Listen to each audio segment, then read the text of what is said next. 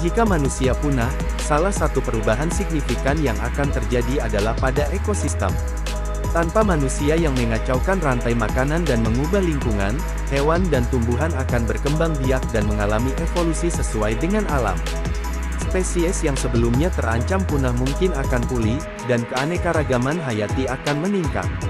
Selain itu, tanpa aktivitas manusia seperti pembakaran bahan bakar fosil dan penggundulan hutan, dampak negatif pada iklim dan cuaca global akan berkurang.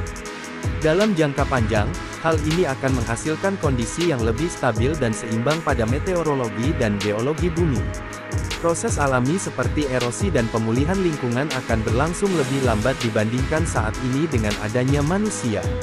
Namun, dari sisi budaya dan pengetahuan, kepunahan manusia akan menyebabkan banyak karya seni, sastra, dan ilmu pengetahuan hilang selamanya.